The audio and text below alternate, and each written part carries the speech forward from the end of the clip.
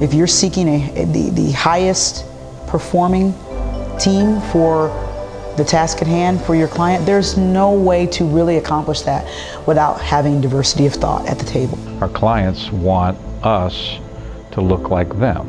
And in a lot of ways, what we do is provide lawyers and service to them, but also to give them the message that we really are trying to get as many people involved and be as diverse as we can. What does diversity mean and what is it going to look like for us now, tomorrow, and even a great deal more time in the future? When I first came to the firm 36, almost 37 years ago, I was the first African American lawyer and the first African American employee. So I think that right now, because we have um, made these strides, we have to uh, bring in diverse lawyers to keep growing um, our practices and also to um, attract uh, the clients we want and to attract the young lawyers we want. Diversity and inclusion is very important to an organization because it really helps us do our best work. Uh, getting to work with people who don't come from the same background, who don't have the same influences or the same even education really helps us see the world in a different way and helps us help our clients.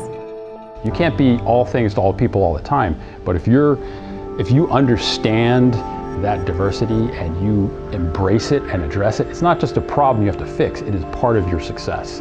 The firm has been just impressive in how we've done that. And that was an important part of my decision to join Barnes & Thornburg. In order to achieve success in diversity and inclusion, we are being very conscientious about making sure that our client service teams are inclusive.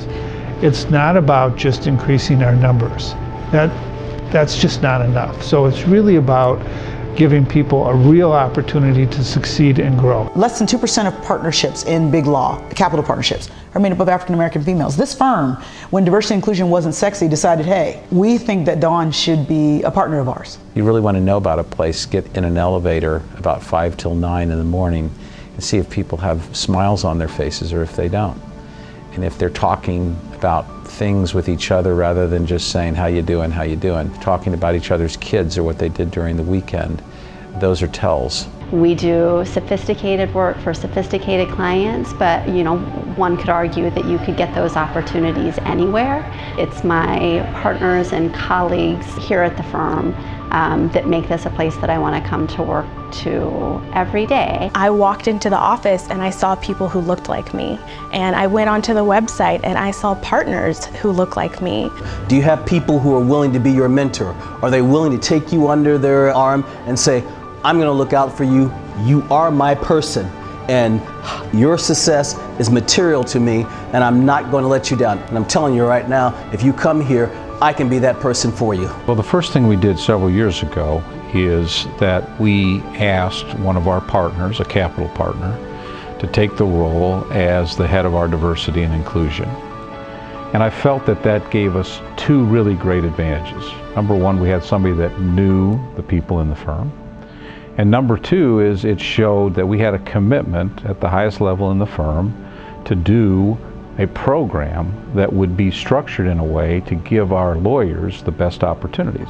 Dawn Rosemond has all of those things, and as a result, I think is very effective in not only conveying the message to other lawyers, but to having an outward-facing, you know, uh, a level of experience where people take it you know, seriously. I mean, this is a capital partner. This is what she thinks, and uh, and we've had great, great response to it.